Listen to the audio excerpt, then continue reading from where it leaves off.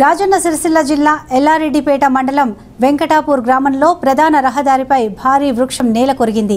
ఎల్లారెడ్డిపేట మండలం వెంకటాపూర్ గ్రామంలోని ప్రధాన రహదారిపై భారీ వృక్షం నేల కొరిగింది. దీంతో సిరిసిల్ల కామారెడ్డి వెళ్ళే వాహనాలకు ఆటంకం ఏర్పడింది. ప్రధాన రహదారిపై భారీ వృక్షం పడి ఉండడంతో వాహనాల రాకపోకలు నిలిచిపోయి రవాణా స్తంభించింది. ఆర్ అండ్ అధికారులు వృక్షాన్ని తొలగించే పనిలో నిమగ్నమయ్యారు.